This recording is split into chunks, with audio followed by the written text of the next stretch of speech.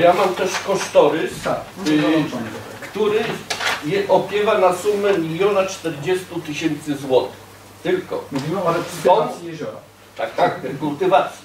Tylko są dwa, y, dwie kratki z Tak. X-ami. Tak. I punkt drugi w tym mówi o zabezpieczeniu cieków niosących substancje biogenne. Tak. I tu jest zakup substancji chemicznych, bo dozownik swoją drogą, Jasne. który zrozumiałem, że musi to postawić gmina. Bo chociaż pan to ujął w kosztorysie, dozownik, Tak. ale już y, zakup substancji chemicznych w ilości zabezpieczającej ciek na rok Tak. około 1000 ton. Mhm. Tak jest to ujęte, Tak. czyli to jest prawie 3 tony dziennie. Czyli jak to ma wyglądać ta Ale- budowla? Ale jest kratka, nie? W kosztorysie w tym miejscu. Tak, tam nie ma podanej. Dlatego że jest- teraz przyjmujemy. Okej. Jeżeli 1000 ton przyjmiemy i tylko przyjmiemy, bo są środki chemiczne, Jasne. że ta tona kosztuje 100 zł, to już gmina w ciągu 3 lat musi wydać 300 tysięcy złotych, czyli już te y, kosztorys Bardzo już zmienia. jest. Tak jest. Tak. tak jest. I teraz w punkcie czwartym znowu się pojawia y, y, y, nazwa dead box Mhm. i też i nie ma jego, jego ceny. Podejrzewam, Tak. że, że będzie tak jak Pan mówił akurat o innym środku, Mhm. że będzie to pieruńsko drogie i na pewno niesamowita ilość tego. Mhm. I, I to podejrzewam, że następne 300 tysięcy w ciągu trzech, a podejrzewam, że wie, dużo więcej. Może być więcej. Plus, y, jeżeli wejdziemy teraz ze słomą, to trzeba mieć sprzęt do tego, czyli trzeba wynająć, podejrzewam, że do rozkładania słomy jęczmiennej y, firmę, która tą słomę rozłoży. No, wie pan, ja No, tam rozkładam Czyli sam. tak, niektórych 300 projektach. tysięcy. Mhm. Czyli ten kosztorys, który nam Pan przedstawił, Mhm. y, milion czterdzieści tysięcy, on może być y, y, prawie 2 Poszedł. miliony. Tak. tak. No. Jeżeli my nie pozyskamy środków, a będziemy musieli z budżetu to zapłacić, to niewielkie szanse mamy na rekultywację tego jeziora, tym bardziej, że monitoring później musimy robić po trzech latach, bo tutaj są wyszczególnione, że y, na okres te jezioro nigdy nie wróci do stanu pierwotnego. Tak pan tu napisał. Mhm. tak. No, także, że... Ale teraz jakie jest pytanie? Bo to jest, Jest napisane, ja pytanie. mówię, że tak jest. Dobrze, y, bo y, tutaj jest wyszczególnione, że do, dozownik, pan go wyszczególnił, czyli kto ten dozownik buduje, Y, jak wybierzemy pana jako tego, pan ma w kosztach, czyli pan będzie go Stawiał. stawiał. Tylko teraz tak, infrastruktura, czyli zabezpieczenie, na jakiej zasadzie on działa, czy to jest na prąd, y, czy musi mieć y, dopływ wody i odpływ wody, bo to jest związane wtedy z obsługą kanalizacji i wodociągów, czyli my, kto to ma ponieść te koszty. Dobrze, to, to jeśli mogę. Bo Proszę. pewnie wszystkiego tak nie No, omówimy, ale żebyście Państwo mieli takie może sz- szersze y, spojrzenie na tą tabelę niż tylko na konkretny punkt. Y, Zlecenie, które Państwo mieliście przygotowane, obejmowało również przygotowanie kosztorysu rekultywacji. Kosztorys rekultywacji jest o tyle trudno przygotować, ponieważ nie istnieją żadne tabele kosztowe standaryzowane, do których można by się odnieść. Poza tym, w związku z tym to, co tu jest przedstawione, jest przedstawione tak, jak ja bym wyobrażał sobie, że mógłbym to wykonać. Ile by mnie to kosztowało. Teraz, to, że jest krzyżyk przy substancjach chemicznych w dozowniku na przykład, to jest dlatego, że ja uważam, że w ogóle rozmowa o jest tego... poniżej, dozownik jest wyszczególniony cena, Zakup substancji. tylko, tylko zakup substancji Zakup substancji jest chemicznych dozownika. Tak. Jest w X, ponieważ ja uważam, że ten kosztorys diametralnie się zmieni, kiedy Państwo podejdziecie do tego, że startujecie do rekultywacji, tak? do pozyskiwania pieniędzy, do tego, że będziecie wiedzieć, co się stało z tym ciekiem, bo ja osobiście uważam, to jest tak, Państwo mieliście jakiś zakres prac do wykonania dla mnie w zleceniu, więc ja go muszę wykonać. Ale gdybym został zapytany o robienie tego kosztorysu, to bym powiedział, poczekajmy, aż sytuacja w tym cieku się tak ustabilizuje, żebym ja musiał tak horrendalnych ilości Państwu pokazywać, że są potrzebne na dzień dzisiejszy do wydozowania, bo ja w życiu bym tyle nie chciał Państwu powiedzieć, że macie nawet dozować, ale musiałem przygotować Państwu kosztorys. Nie, no ja Więc go rozumiem. przygotowuję w oparciu o informacje, które są na dzień dzisiejszy, ale absolutnie Państwu dzisiaj nie zalecam przystępowania do rekultywacji. Tylko, y, doktorze, ja rozumiem, tylko jako y, przewodniczący Komisji Budżetu muszę Finansowej. też uwzględnić. I teraz y, te 3 tony dziennie, bo tak pi razy drzwi 300, y, 3000 ton, y, 1000 ton rocznie to jest około 3 ton prawie na dzień, 2,5 tony. To trzeba przywieźć, to trzeba mieć miejsce do składowania, to trzeba przygotować, czyli sama rekultywacja to nie jest tylko y, rekultywacja. No my musimy mieć y, czas na przygotowanie, bo to się wiąże z niesamowitymi kosztami dokumentacją na to wszystko, bo to jest robienie w linii brzegowej. Druga sprawa, trzeba mieć tak samo, dlatego mówię, że tu będzie prośba, bo panu podam y, ten y, kontakt z tym dzierżawcą jeziora, który jest dzierżawcą i on się z pana sprawami którymi zgadza. No to, tutaj mamy pewne zastrzeżenia, bo na temat akurat trzciny nie zupełnie się zgadza z panem, ale to raczej słomy jęczmienne. No to tutaj jest sprawa już dyskusyjna, to jest między wami podejrzewam do wyjaśnienia. Nas mnie nie interesuje po prostu tylko koszty właśnie, bo się dziwię, że y, na przykład y, autorzy opatentowanego tego rozwiązania de, depoksu Tak. nie są osiągalni. No to Tak. jak mają patent i nie chcą sprzedać tego patentu, no to jak co, No bo oni powinni podać jakąś, powinni być osiągalni. No. No nie, no nie jest to takie proste. No. Substancja Depox to jest substancja, którą ileś lat temu trzy osoby pracujące wtedy jako zespół stworzyły, czyli stworzyły substancję chemiczną, która jest w stanie w wolny sposób uwalniać z siebie tlen po tym, jak się gdzieś zadozuje, na przykład do toni wodnej. Nie jest to tak jak włączenie na przykład jakiejś napowietrzarki czy sprężarki i, wrzucenie jakiejś kostki napowietrzającej, e, tylko jest to chemiczne uwalnianie tlenu przez jakiś okres czasu.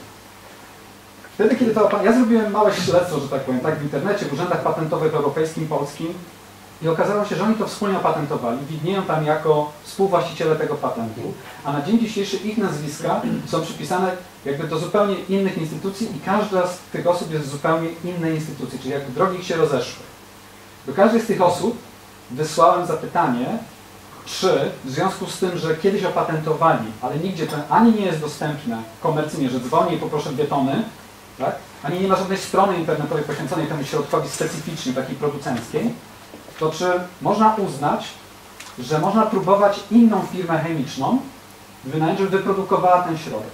Żadna z tych trzech osób mi nie odpisała na tą wiadomość. W związku z tym ja ten depok zrzuciłem dlatego, bo moja wiedza naukowa mi podpowiada, że jest taka substancja, że ktoś kiedyś coś takiego wymyślił. Ale teraz od tego do zakupu i do realizacji jest droga długa. I to, co Pan ewentualnie tutaj ze mną dyskutuje, że jest to być może nierealizowalne, to zgadzam się z Panem. Tylko ja Państwa chciałem wyposażyć w wiedzę i trochę też pokazać, w jakich okolicznościach ja funkcjonuję, bo staram się Państwu doradzić najnowocześniejszą rzecz, ale to nie zawsze oznacza, że ona będzie już dostępna albo jest tania. E, I rozważania na ten temat, myślę, że jeszcze przed nami pewnie jednego eksperta Państwo jeszcze poprosicie do tych rozmów. Y, I jeszcze takie dodatkowo, czy istnieje możliwość, żebyśmy my, y, mając ponton strażaków, petwodurków, część usług, bo tutaj są usługi łodzią motorową i tak dalej, nie wykorzystali, czy współpracowali z Panem, żeby obniżyć koszty rekultywacji. Czy istnieje taka możliwość Myślę, przy że- zmianie na przykład o aktualizacji kosztorysu? Myślę, że tak. Myślę, że tak, tylko wtedy rzeczywiście trzeba usiąść przy stole, nie wiem, na wprost siebie i powiedzieć, ta robota tak wygląda. Teraz czy macie środki, czy się dostosujecie do tego, że ja mówię, że przyjeżdżam i pobieramy próby, a wy przyjeżdżacie z pontonem na przykład, a ja już nie wiozę łodzi. No. Nie, ja myślę, że to, to jest do, do dogadania. Tak?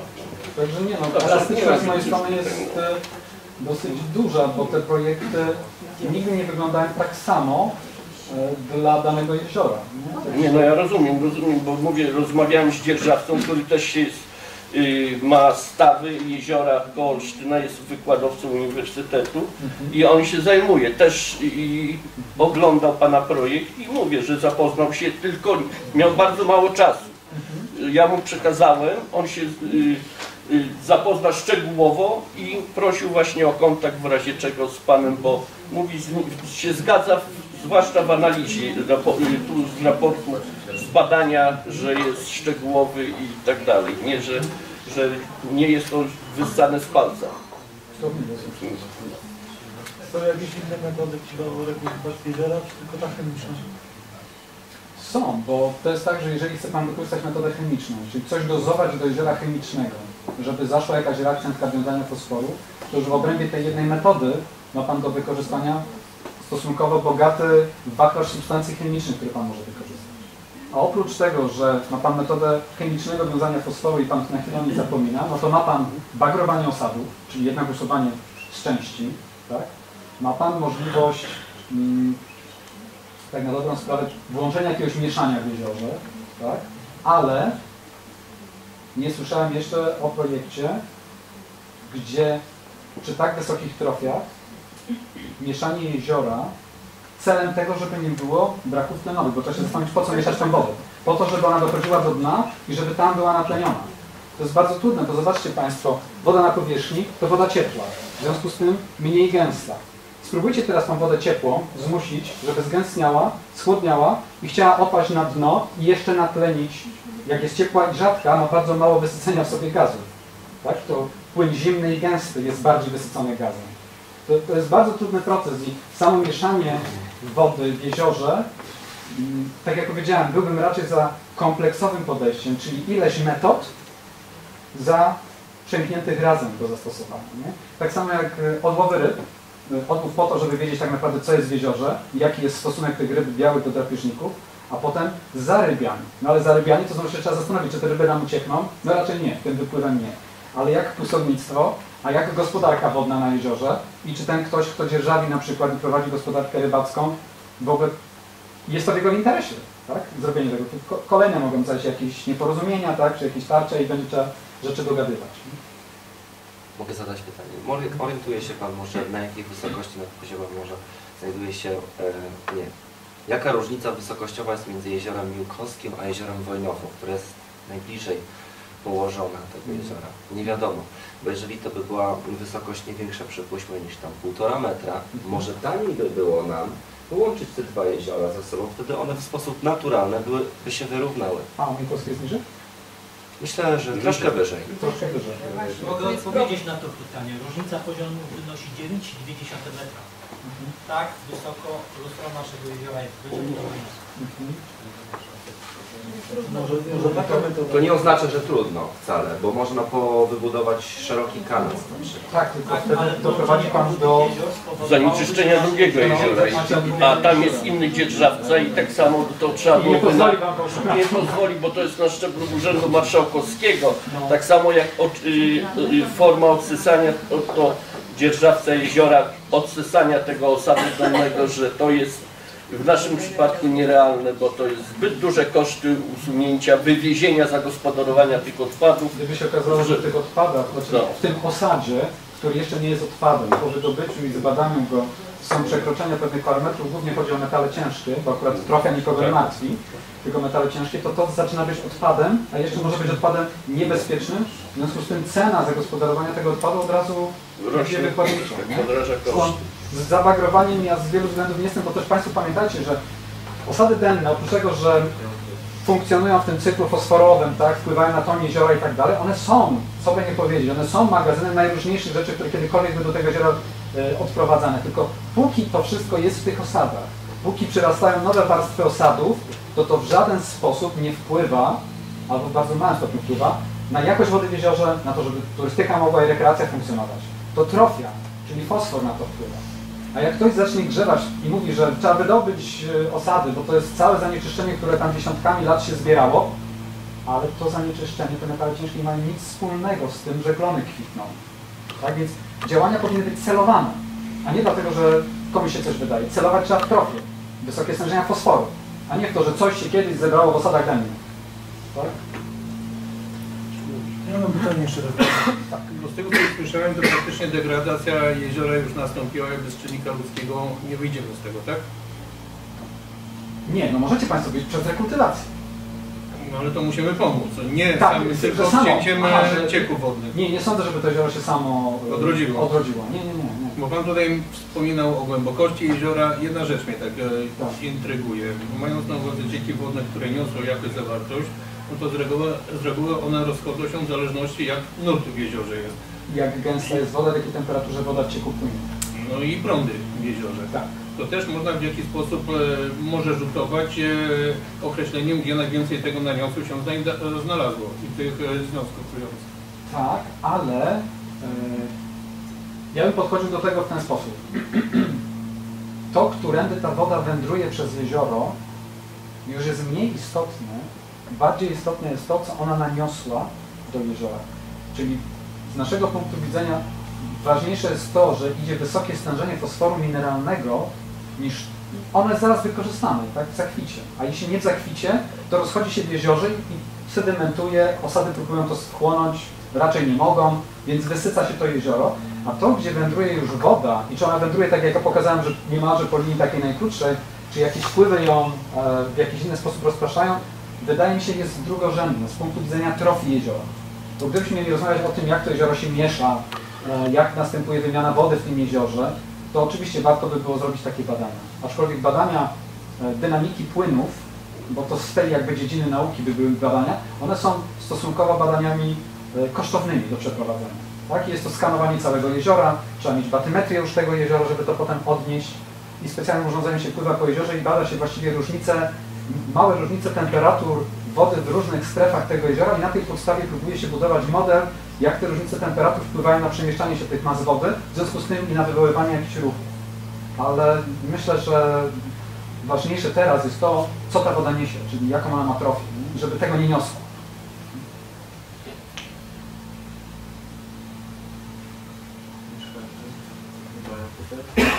Bardzo proszę. Chodzi o to, że o, około 20 lat temu na środku jeziora, w najgorszym miejscu, zainstalowana e, taka duża Aerator, tak? napowietrzająca. Powie mi Pan, czy istnieje szansa wykorzystania tego, co już mamy? Czy Pan, czy pan wie o czym... Mm, Nie powiem panu, wiem o czym pan mówi, próbowałem go znaleźć jako sondą, pływałem w kółko, ale już było ciemno na jeziorze, ja dalej pływałem i jakoś nie mogłem go Jest, jest znaleźć. woda półtora metra od brzegu ucięta. Mhm. Bo była sprężarka na brzegu, Tak, stała tak. Mhm. spora sprężarka, ona miała około 16 kW I to można by było moim naszym zdaniem po prostu uruchomić już najprędzej, choćby za tydzień. Prawda? Jest hasło, stawiamy sprężarkę i śmigę. To jest jedna metoda, żeby już na, na dzień dzisiejszy coś powiedzieć. Mhm. Mieszałoby to te warstwy i to zaczęłoby od głębokości, od najgłębszego miejsca. to powiem tak. Ja jestem zwolennikiem mieszania wody w jeziorze i tylko mieszania wody w jeziorze. Jezioro Gniezno, e, jezioro Jelony Gnieźnie mieszało wodę przez kilka ładnych lat, e, sprężarkami pompując e, powietrze. Miało e, dysze takie drobnocząsteczkowe, tak drobnobąbelkowe. Nie było żadnej poprawy, bo co zasilało to jezioro? Nie osady denne, tylko struga, która do niego płynęła. To jedno. Drugie, wydali właśnie bardzo dużo pieniędzy na energię elektryczną, a nie mieli żadnego skutku poprawie jakości jeziora. Trudno jest mi Panu odpowiedzieć obiektywnie na to, czy należałoby uruchomić dzisiaj, czy można uruchomić dzisiaj, bo tak jak powiedziałem, nie jestem zwolennikiem stosowania napowietrzania. Więc wolę Państwu nie powiedzieć tak bądź nie, bo jak powiem tak, no to też jest duża odpowiedzialność, ale przede wszystkim nie mam takiej opinii. Jak powiem nie, to Państwo powiecie, no mówi nie, bo mówi, że nie jest zwolennikiem. Także tu by trzeba y, być może jeszcze jakiegoś fachowca do dyskusji. Natomiast co jest niebezpiecznego też w mieszaniu wody w jeziorze? Niebezpieczne jest to, że wywołujemy pewne lokalne prądy, prądy znoszące. Nie wiem dokładnie jakiej konstrukcji jest, czy był ten aerator, ale jeżeli umieszczamy coś przy dnie, co porywa drobnocząsteczkowe nawet bąbelki powietrza ku górze, to zaczyna wywoływać prąd wznoszący ku górze wody. Tak? Te wody, które mamy na dnie, oprócz tego, że są odtlenione, są bardzo silnie bogate w fosfor mineralny, którego tak już jest dosyć w toni wodnej, tej fotycznej, gdzie powstają zakwity, a my jeszcze dołożymy. Tak? W związku z tym, jeszcze tylko, jeśli Pan pozwoli, ja kończę. W związku z tym myślałbym o stosowaniu mieszania, czy bardziej napowietrzania e, dennych warstw wody w sposób okresowy. Czyli na przykład teraz jezioro się miesza. Teraz jest ta pora roku, kiedy wody mają szansę się przemieszać, więc teraz odpuścił, no, tak? bo byłyby to zmarnowane pieniądze. Natomiast zacząłbym to robić, kiedy temperatura wody by się podniosła, kiedy byśmy doszli do tego poziomu, że następuje stratyfikacja, czyli że mamy tą warstwę wody o jakiejś określonej temperaturze, potem mamy termoklinę, czyli gwałtowny spadek temperatury i potem znowu mamy warstwę wody, gdzie ta temperatura się stabilizuje. To żeby tą stratyfikację zaburzyć, tak, żeby te płyny jednak się mogły ze sobą wymieszać, wtedy bym prawdopodobnie to włączył. Myślałbym też o tym, żeby włączać to na przykład nocą, wtedy w tym okresie, ale wyłączać na dzień. Bo i tak, i tak ten zakwit fitoplanktonowy produkuje potężną ilość substancji odpadowej jego, z jego punktu widzenia, czyli tlenu. Bo każda roślina produkuje tlen w czasie fotosyntezy. Dla niej jest to zupełnie niepotrzebne, w przeciwieństwie dla nas. Tak? Więc woda jest wysycona tlenem, wręcz niebezpiecznie wysycona w trakcie zakwitu, nie? z punktu widzenia organizmów y, żywych. Ale tak krótko, że Pan powiedzie tak, nie, trudno mi powiedzieć, nie jest to jednoznaczne. Cena prądu nocą też jest tańsza. No dobrze, ale wtedy by nie było więcej y, właśnie sinic? Jakby to by się wymieszało i znowu by było tego fosforu więcej? No więc, no więc to Ten jest... zakwit by był większy wtedy automatycznie. Zostałby zasilony tą pulą biogenów, które są w tej wodzie przydennej, którą Państwu pokazywałem na wykresie, że e, bardzo szybko został zużyty fosfor mineralny, tak, takie trzy strzałeczki narysowałem, bardzo one by się rozwijały. w toni wodnej, a było go bardzo dużo jeszcze na dnie. I teraz gdybyśmy włączyli na, na mieszanie czy na powietrzanie, a wskutek te- tego I by była napowietrzania, pewnie większa warstwa tego, te, tych sinic. czy warstwa, czy, czy nie, ale byłby gęs, byłoby więcej chlorofilu, na przykład 200 zamiast 150 i tak dalej. Ale czegoś nie, nie rozumiem. Przecież e, kluczem do pozbycia się fosforu jest e, dostarczenie tlenu. Więc jeżeli dostarczamy tlen na dnie, Nie tylko tlen. go do powietrza. Z powietrza, No, no, no. z powietrza. E, Napowietrzamy e, wodę. E, Ruchy wody powodują, że denne warstwy e, dostały się na wierzch i te się napełniają za pomocą dyfuzji z atmosfery. Ale nie ma słońca. Zaraz. I w ten sposób wiążemy. Co nam to przeszkadza? Nie wiążemy. Zapamiętam o jednym elemencie. A co to ma wiązać? Co wiąże fosfor? Fosfor się nie wiąże z tlenem. Fosfor się wiąże w warunkach tlenowych z różnymi substancjami. Tymi substancjami na przykład jest magnez, wapń, e, krzemionka, żelazo, o którym wspominałem. I teraz najpierw, jeśli już mamy mieszać i mamy napowietrzać po to, żeby dostarczyć, polepszyć warunki tlenowe przy dnie, żeby fosfor się mógł wiązać i nie był uwalniany z tych wiązań, to najpierw musimy zadozować do jeziora te substancje, żeby miał się z czym związać. U Państwa jest żelazo. Pomocniczy, a nie zasadniczy. Tak? Yy, mieszanie i napowietrzanie. Raczej tak. Jest szansa, że tej chemii trzeba wtedy znacznie mniej niż tak normalnie, tak, żeby wrzucać bez mieszania. Wie Pan co? Chodzi o to, żeby się faktycznie zminimalizować. To już trzeba, to trzeba, no coś trzeba Jasne. To, trudność polega na tym, że i to nie zarzut, ale Państwo zadajecie mi pytania w sposób inżynieryjny. Mniej, więcej, włączymy to, to zaoszczędzimy na tamtym. A ekosystemy naturalne działają tak jak każdy z Państwa. Tak? Jak idziecie do lekarza, to się każdy dowie czegoś o sobie innego i nie jesteście indywidualni. I niestety w działaniach na ekosystemach żywych tak, nie da się czegoś powiedzieć w 100%. Czyli ja jestem trochę w trudnej sytuacji, bo Państwo byście, Panowie zadajecie pytanie i chcecie jakby takiej klarownej odpowiedzi. A ja cały czas wyglądam tu przed Państwem, że lawiruję, żeby nie odpowiedzieć wprost. Ale nie dlatego, że nie mam tej odpowiedzi, tylko że nie wiem akurat na to pytanie, które Pan zadał, czy zaoszczędzimy substancje chemiczne wtedy, jeśli dostarczymy tlen do osadów dennych. Myślę, że nie, bo w hydrobiologii jest tak, że różne biogeny występujące, różne pierwiastki występujące w toni wodnej, jeśli występują w pewnych relacjach, proporcjach wagowych do siebie, to to jest oznaka czegoś dobrego albo złego. Żelaza powinno być 20 razy więcej, to jest minimum. 20 razy więcej niż fosforu. U Państwa jest go mniej.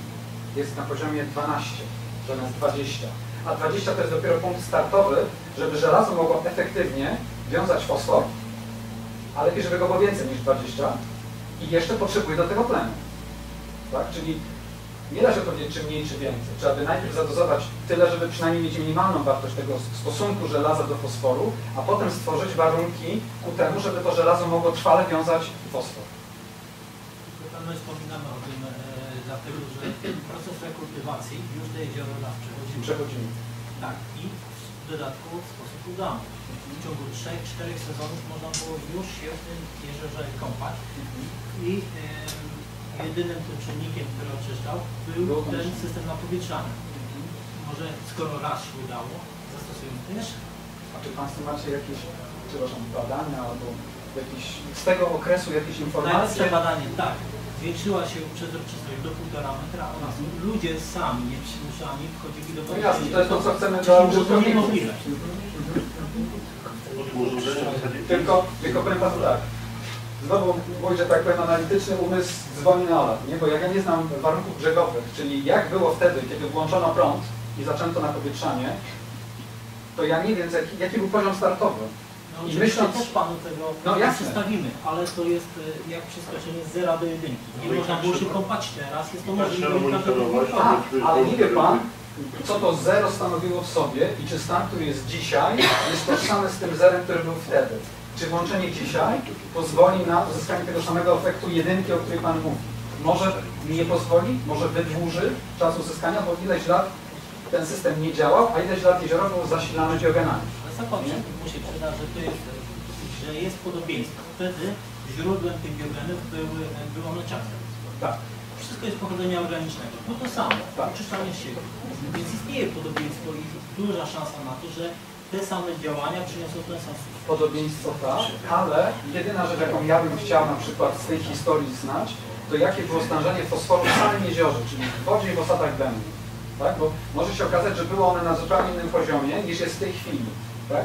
Teraz, kiedy włączymy to na powietrzanie i ten fosfor wywalimy do toni wodnej tak naprawdę z tego dna, to może się okazać, że będzie Pan miał rok czy dwa, które będą jeszcze bardziej katastroficzne, a dopiero potem nastąpi poprawa. Tylko przez ten rok czy dwa ktoś może powiedzieć, nie, to już nie płacimy za ten prąd, to już nie róbmy i jakby efekt w ogóle nie będzie osiągnięty. Yy, Ja trochę teraz działam jak może taki adwokat diabła, tak? Czyli Pan proponuje jakieś rozwiązanie i ja jak gdyby dyskutuję z Panem, że niekoniecznie są one jednoznaczne i takie w pełni do końca zapewniające powodzenie. Zawsze można by wyjść od założenia, że warto robić coś niż nic i warto robić coś środkami, które posiadamy, niż fantazjować o środkach, na które nas nie stać. Tak? I jak gdyby z tego, z tego rozumowania wynika ta dyskusja, tak? Tak, jeżeli nic nie będziemy robić, to w ogóle nie pomożemy i wcale nie mamy gwarancji, że za rok wcale nie będzie jeszcze go. Jasne. Ale ja niestety nie opowiem Panu dzisiaj, jest czy to mieszanie w tym miejscu, bo to jest niedaleko głęboczka, tak? Sam Podejrzewam, można na samym głęboczku, tak? Można próbować mieszać i zmonitorować, jak się na przykład zrobi za, za rok. A jeszcze Można. druga metoda, Można. trzeba pomyśleć na temat... Już chętniej coś takiego, jak słyszę, że ktoś chce zrobić jakieś badania, czyli chce uzyskać jakąś wiedzę na temat tego, co robi, a nie tylko włączyć wtyczkę, to już jestem bardziej chętny powiedzieć, że warto coś takiego zrobić. Tak? W systemie y, jakiejkolwiek regulacji no, potrzebna jest kontrola, nie ma dwóch. A moim zdaniem to powinno trochę się połączyć, bo jakby się te silnice najpierw trochę zwalczyło, to by przezroczystość była większa i wtedy bardziej wydało coś na, na powietrzenie. Nie, nie do końca, ponieważ e, samo napowietrzenie, ono, dobra, może inaczej. Mm, Rośliny, to, co chcemy doprowadzić, to chcemy doprowadzić do tego, żeby to rośliny zużywały biogeny, które są w jeziorze, a nie fitoplankton i zakwity. Żeby Ale może te rośliny właśnie denne, które jeszcze są trochę. więc żeby do tego, światła wtedy więc tak. żeby do tego doprowadzić, to trzeba mieć większą przezroczystość wody. Mhm. Pan mówi, nie mówię, że jestem przekonany, ale Pan mówi, że kiedyś to pomogło zwiększeniu przezroczystości wody, w związku z tym jest przekonany, że warto spróbować jeszcze raz. Tak, ale teraz Ja twierdzę- było, że po badaniach to jest naprawdę duże stężenie, jest już e, tych właśnie Fosforu Tak, tak, ale tak, tak. I jeżeli im się da tlenu Jeszcze- i fosforu jeszcze więcej, to jeszcze lepiej wykwitną to, znaczy tlenu powietrza, Tak. to one jeszcze więcej wykwit, Tak. wykwitu będzie i jeszcze będzie ciemniej Tak, i te rośliny na dnie niestety nie będą już mogły więc, funkcjonować. więc i Pani ma rację, i Pan ma rację. I problem polega na tym, że jak, jak macie Państwo, dobrze, to teraz o ekosystemie w kontekście y, parę słów na temat materii organicznej. Ekosystem ma jakąś produkcję. Ta produkcja to są te grony fitoplanktonowe, rośliny, ryby. Jak to umiera i spada na dno, to umiera w postaci materii organicznej. Następnie zachodzi proces mineralizacji, o którym mówiłem, do którego najlepiej, żeby był tlen. I wtedy uwalniają się biogeny. I teraz jeżeli jezioro przez ileś lat było bardzo bogate w produkcję pierwotną, czyli kwitło, tak? aż w nim się gotowało tych zakwitów, to tej materii organicznej w tych osadach, też mam takie badanie, jest jakaś nagromadzona pula. Jeśli rozpoczniemy proces pozwalający tym osadom lepiej funkcjonować z powodu stężenia tlenu wyższego w wodzie przydennej, lepiej funkcjonować, która tam jest, to, to brzmi nieźle. Tylko skutkiem przyspieszonej mineralizacji jest uwolnienie puli biogenów dodatkowej z tej mineralizacji. Tak? Czyli trzeba zawsze się liczyć z tym, że jeżeli proces będzie gwałtowny, czyli włączenie na powietrzeniach głęboczku, gdzie jest największe nagromadzenie y, y, form mineralnych żelaza, gdzie jest materia organiczna, to może się okazać, że pierwszy rok czy dwa lata będą raczej jeszcze gorsze, bo dostarczymy jeszcze więcej trofi do jeziora. I teraz oby wystarczyło cierpliwości wszystkim tak, i jakby pieniędzy na rachunek, żeby to pociągnąć i przejść przez ten okres, kiedy się pogorszyło, do okresu, kiedy się polepszy. Ale ja nie jestem w stanie Państwu jak gdyby tego, e, no to by było wróżenie. nie? Jakbym Państwu powiedział, że po roku się polepsza, albo po dwóch. Nie jestem w stanie się Państwu tego powiedzieć. W każdym razie dziękujemy bardzo. Chyba na